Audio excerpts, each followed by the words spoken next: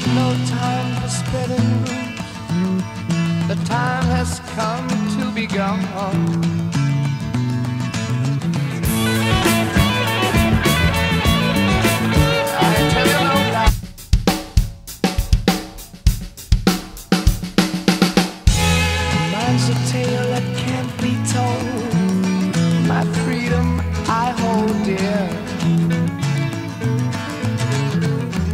How years ago in days